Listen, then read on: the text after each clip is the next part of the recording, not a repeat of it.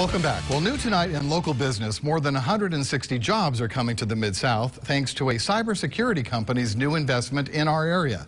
DevCon is expanding its operations, and that means moving its headquarters to the University of Memphis's Communitech Research Park, which is right near Highland Strip.